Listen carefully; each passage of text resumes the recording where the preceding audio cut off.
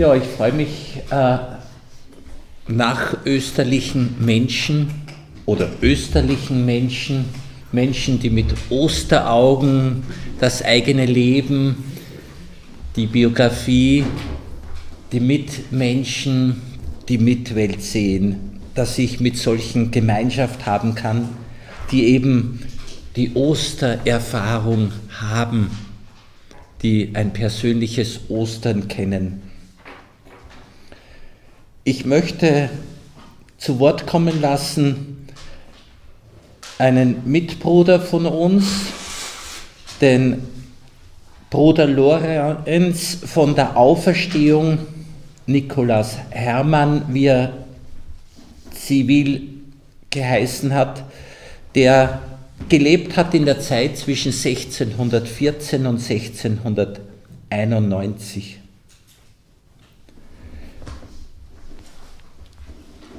In Lothringen geboren als Sohn guter und frommer Eltern, musste er als Soldat damals im Dreißigjährigen Krieg dienen. Er wurde verwundet, ist deshalb zu den Eltern heimgekehrt und die Verwundung war ausschlaggebend, dass er den Kriegsdienst verlassen hat und sich um ein heiliges, heiligeres Leben bemüht hat.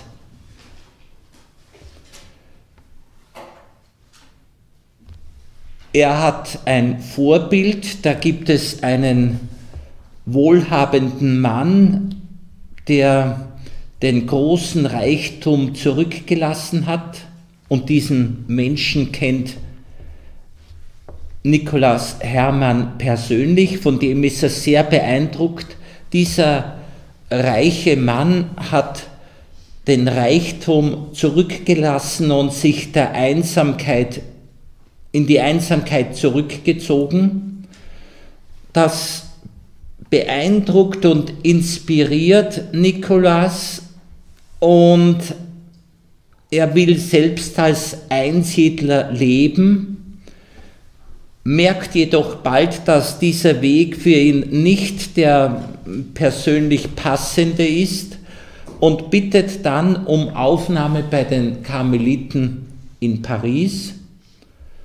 Dort wohnt, dort lebt schon ein, ein Onkel von ihm und durch, den, durch die Aufnahme in den Karmel, 26-jährig, bekommt er den Namen Bruder Lorenz von der Auferstehung. Mir gefällt auch dieses Prädikat von der Auferstehung, weil das ja auch ein österliches Prädikat ist und es ja auch für den Christen ganz wichtig ist, dass er nicht nur den leidenden und gekreuzigten Herrn vor Augen hat, sondern unbedingt auch den Auferstandenen vor Augen hat. Weil das ist ja das Eigentliche, das Leben des Auferstandenen. Leiden, Sterben ist Durchgang hin zur Herrlichkeit des Auferstandenen. 77-jährig ist Bruder Lorenz am 12. Februar 1691 verstorben. Im, Im Kloster hat er sich mit sehr, sehr großem Engagement und Einsatz, mit großer Liebe dem geistlichen Leben gewidmet. Er war ein sehr gutes Vorbild für seine Mitnovizen und hat sich viel mit großem Eifer den Werken der Buße auch gewidmet. Die Oberen haben ihn oft zu den niedrigsten Diensten herangezogen, er hat aber das auf sich genommen. Er hat von sich aus einen extremen Eifer gehabt, der ihm auch in eine Krise, in einen Konflikt gebracht hat, in innere Leiden, aber seine Größe zeigt sich darin, und das gefällt mir sehr gut, es hat ein Mitbruder zu ihm gesagt, dass er gehört hat, man will ihn aus dem Kloster wegschicken, weil er nicht geeignet sei. Darauf antwortet er, ich bin in Gottes Hand. Er mache mit mir, was ihm gefällt. Ich sehe in meinem Tun nicht auf irgendwelche Menschen. Wenn ich dem Herrn nicht hier diene, so diene ich ihm an einem anderen Ort. Sehr verfügbar, sehr beweglich, sehr vorbildlich. Also wenn jetzt die Verantwortlichen feststellen, hier passt es nicht für mich, na, dann passt es woanders. Diene ich dem Herrn an einem anderen Ort. Das spricht für Größe, das spricht für Vertrauen zu Gott, das spricht für Verfügbarkeit und Liebe zu Gott. Sein radikaler Einsatz hat ihn auch in innere Leiden versetzt, die einerseits auch eine Reinigung waren, aber andererseits auch sehr gefährlich waren, denn er betrachtete sehr intensiv die Sünden seines vergangenen Lebens und dass, wenn das in einer Einseitigkeit geschieht, dann kann das den Menschen daran hindern, auch heil zu werden. Die heilige Therese von Lisieux sagte mal, also nicht durch das Betrachten der eigenen Ohnmacht und des eigenen Elends, sagt sie, nicht das führt uns zur Heiligkeit, sondern der Blick auf den Herrn. Die Beziehung zu Jesus, das führt uns zum Heiligwerden und nicht die Betrachtung des eigenen Elends. Bruder Lorenz ist sich sehr klein und verächtlich vorgekommen, sodass er sich auch der kleinsten Liebeserweise Gottes für unwürdig erachtet hat. Irgendwie müssen wir natürlich immer sagen, wir sind nicht würdig und trotzdem, Gott hat uns würdig gemacht. Und er will, dass er ganz intensive Gemeinschaft, ja Einheit mit uns leben kann.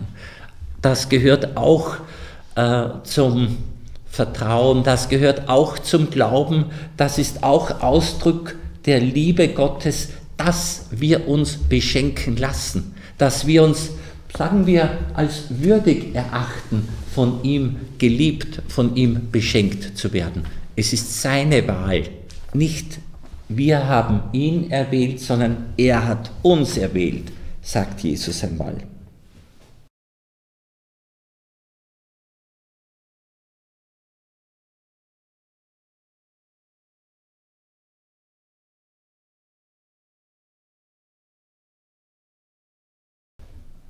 Ja, er ist äh, manchmal sehr ratlos gewesen, hat innere Qualen erlitten und schließlich wurde er doch hindurch geführt durch diese Krise und wir wissen es, was die Botschaft dieses Bruder Lorenz von der Auferstehung geworden ist. Er ist nicht heilig gesprochen, er ist nicht selig gesprochen, er war ein einfacher Mitbruder, auch nicht Priester. Er hat in der Küche und in der Schusterei gearbeitet, war für alle Dienste im Kloster zur Verfügung. Seine Botschaft war, die Freude, das Glück, der Sinn des Lebens besteht darin, stets in der Gegenwart des Herrn zu leben. Und wenn wir nun davon ausgehen, dass der Auferstandene gegenwärtig ist und, und sich da verwirklicht, was Gott dem Mose durch den Dornbusch gesagt hat, nämlich ich bin da. Jetzt ist der Auferstandene da, er sagt ja, ich bin bei euch alle Tage. Und dieser Auferstandene, der sagt, eben ich bin bei euch und ich, ich gebe euch das Leben. Nun, in der Gegenwart des Auferstandenen ganz gegenwärtig sein, das ist unser Thema. Dass auch wir so gegenwärtig sind, so präsent sind, wie der Auferstandene selbst.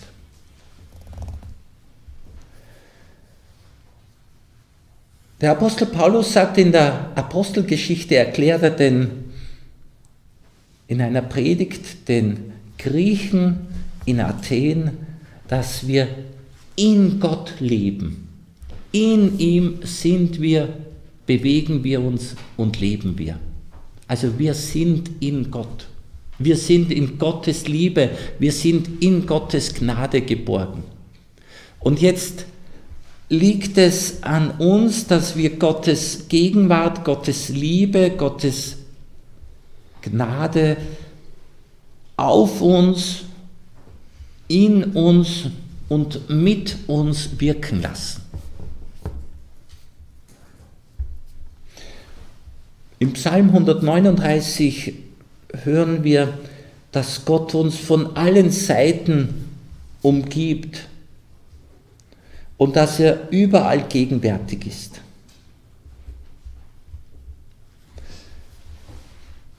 Im Psalm 16 heißt es,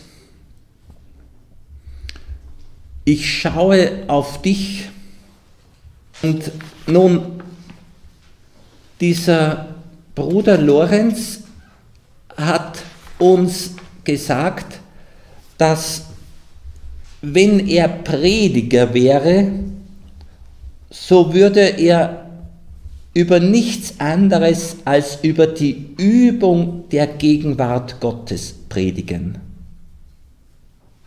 Die Übung der Gegenwart Gottes wäre sein Thema. Wäre ich ein Seelenführer, so würde ich jedermann zu dieser Gewohnheit raten. Für so notwendig und für so leicht halte ich sie. An eine Ordensfrau schreibt Bruder Lorenz wenige Monate vor seinem eigenen Sterben, also vor seinem eigenen Heimgehen, was mich in diesem Leben tröstet, ist, dass ich Gott durch den Glauben schaue und zwar auf eine Art, dass ich manchmal fast sagen könnte, ich glaube nicht mehr, sondern ich sehe. Ich erfahre, was der Glaube lehrt. Bruder Lorenz ist sich dessen bewusst und sein, seine, seine persönliche Biografie hat es ihm gelehrt, dass dass der Mensch selbst sich auf diese Gegenwart Gottes einstellen kann und muss und er auf diese Weise sich sensibilisiert für das, was Gott ihm sagt, zeigt und schenkt. Wir könnten unterscheiden zwischen dem, was auch Bruder Lorenz manchmal unterscheidet, nämlich einerseits spricht er von der Gegenwart Gottes und das andere ist die Übung der Gegenwart Gottes.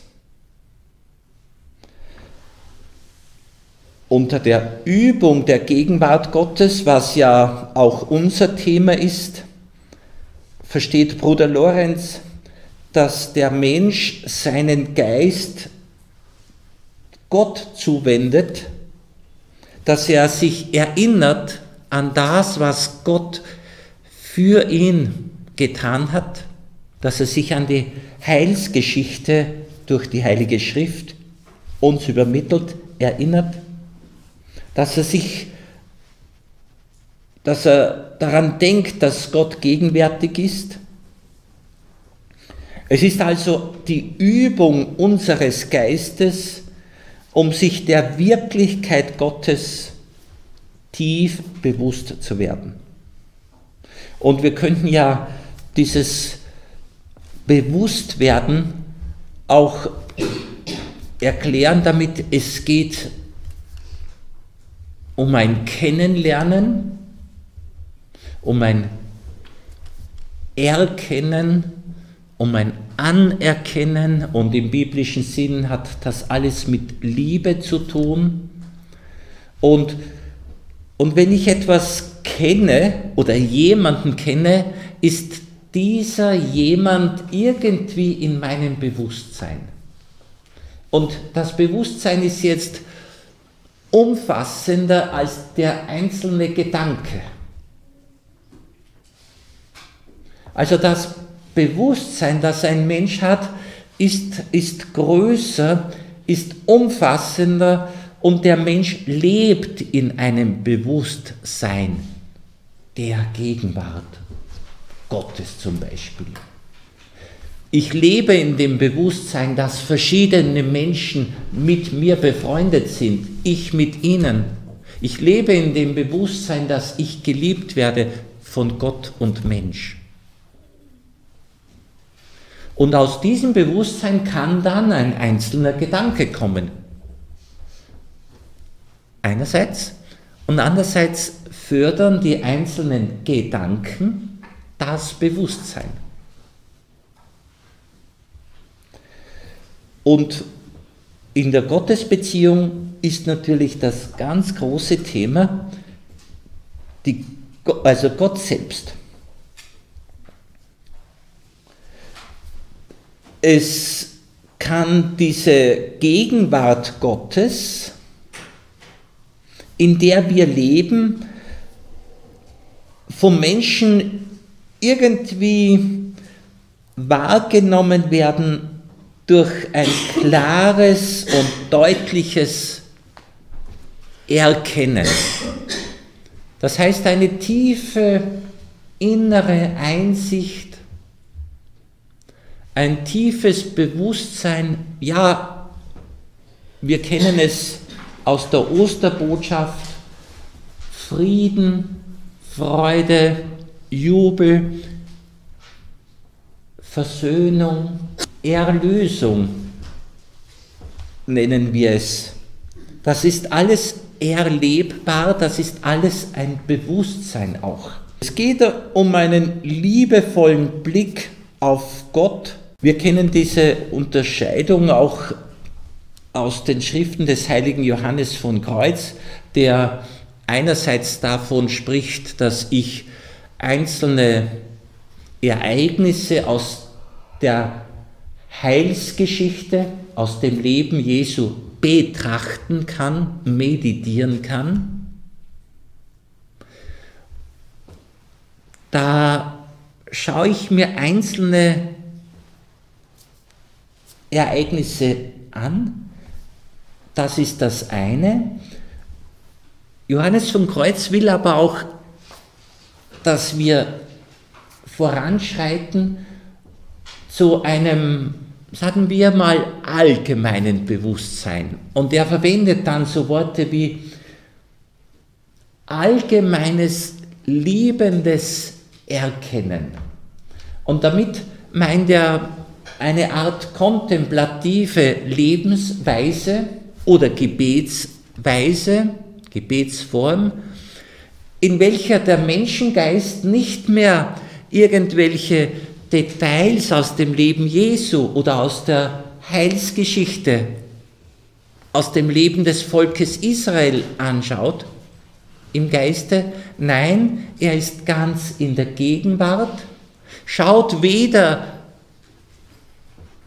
eben Details aus der Heilsgeschichte an, noch Details des eigenen Lebens, sondern er, er weiß sich in der Gegenwart Gottes, also Gott ist gegenwärtig und er, der Betende, ist gegenwärtig. Gott liebt den Betenden und der Betende liebt Gott. Das nennt Johannes von Kreuz so das allgemeine liebende Erkennen. Und da erholt sich die Seele, da bekommt die Seele Licht, da wird die Seele gestärkt, da findet sie zum Frieden, da wächst das Bewusstsein der Seele.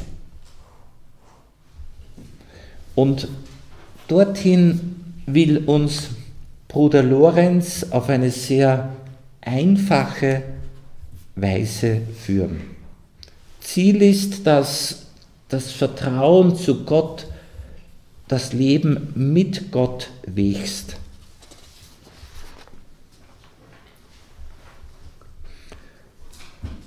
So schreibt er, es ist nötig, dass wir unser ganzes Vertrauen auf Gott setzen und alle anderen Sorgen beiseite lassen und sogar besondere Formen der Andacht aufgeben, die an sich recht gut sein mögen, mit denen man sich aber oft unnötigerweise belastet. Also er ist da sehr mutig einerseits, andererseits schaut er sehr genau hin. Und genau das genaue Hinschauen lässt ihn so präzise formulieren und lässt ihn auch so mutig sein, weil er so gut unterscheiden kann. Dass es nämlich, wie er beobachtet, auch bei anderen, nicht nur bei sich, dass es Andachtsformen gibt, die grundsätzlich gut sind, die aber für den Menschen nicht automatisch weiterführend sind, nicht automatisch vertiefend sind, und zwar weil es passieren kann, dass der Mensch wieder bei bestimmten Vorstellungen, Bildern, bei bestimmten, sage ich mal, Mustern und Strukturen ja bei gewissen Formulierungen hängen bleibt und diese Formulierungen, Muster, Strukturen, Vorbildungen, Vorstellungen können ihn letztlich wieder beeinträchtigen, können ihn wieder einsperren. Und Ziel ist, dass wir weitergeführt werden, weitergeführt werden in die immer größere Freiheit der Kinder Gottes, in welcher einzig das Gesetz der Liebe, das Gesetz der Gnade, das Gesetz der Kinder Gottes wirksam ist. Das Gesetz des Geistes. Also äh, das sind Worte, wie sie auch der Apostel Paulus verwenden, verwendet, nämlich der spricht vom Gesetz der Gnade, vom Gesetz des Geistes. Und wer die Liebe erfüllt, hat das Gesetz verwirklicht. Aber bedenken wir, Geist, Gnade, Liebe, das sind Inhalte, die sozusagen schwer einzufangen sind. Und das sind Worte, Geist, Gnade, Liebe, die einzig aus Beziehung heraus eine Bedeutung haben. Und die Beziehung ist eben wiederum ein Geschenk des Geistes. Der Geist schenkt die Beziehung. Ich wiederhole nochmals, Bruder Lorenz, es ist nötig, dass wir unser ganzes Vertrauen auf Gott setzen und alle anderen Sorgen beiseite lassen und sogar besondere Formen der Andacht aufgeben, die an sich recht gut sein mögen, mit denen man sich aber oft unnötigerweise belastet. Diese Andachtsformen sind schließlich nichts anderes als Mittel, sie sind nichts anderes als Mittel, die uns helfen sollen, an das Ziel zu gelangen. Also die Andachtsformen sind Instrument, sind Weg, sind eine Hilfe, aber nicht das Ziel. Sie, sie wollen uns helfen, an das Ziel zu gelangen. Werden wir nun, sagt Bruder Lorenz, durch die Gewohnheit der Vergegenwärtigung Gottes mit Gott, der unser Ziel ist, vereint, so ist es unnütz, zu den Mitteln zurückzukehren. Da ist da ein ausgezeichneter Schüler des heiligen Johannes von Kreuz, ob und wie weit er seine Schriften gekannt hat, weiß ich nicht. Aber Johannes von Kreuz bedauert, dass es geistliche Führer gibt, die den Weg des Geistes nicht verstehen, die ihre ihm anvertrauten Kinder, geistlichen Kinder, Töchter und Söhne, wo er meint, die müsse er führen, diese werden bedauerlicherweise, sagt Johannes von Kreuz, oftmals, obwohl sie schon beim Kern sind, zurückgeführt und mit der Schale beschäftigt. Weil nicht alle geistlichen Führer die Wege des Geistes verstehen und meinen, die Mitchristen werden auf dieselbe Weise geführt wie er selber. Johannes von Kreuz äh, erwartet, dass die geistlichen Führer sehr, sehr diszipliniert sind und sehr viel studieren, damit sie niemals meinen, der eigene Weg im geistlichen Leben müsse für andere auch der Weg sein. Gott führt auf ganz einzigartige Weise jeden Menschen.